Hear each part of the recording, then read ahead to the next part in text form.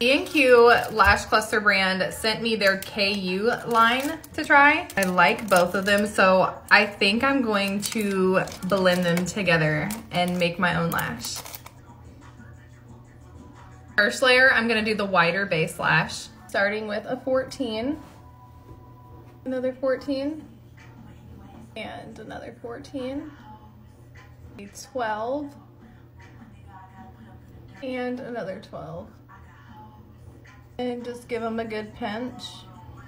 Second layer, I'm gonna use these and fill in the little gaps between the first layer. Going in with a 16, another 16, out a 15, then a 13.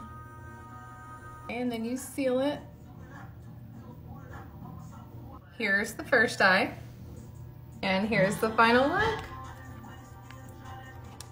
All my dramatic besties, this is the one.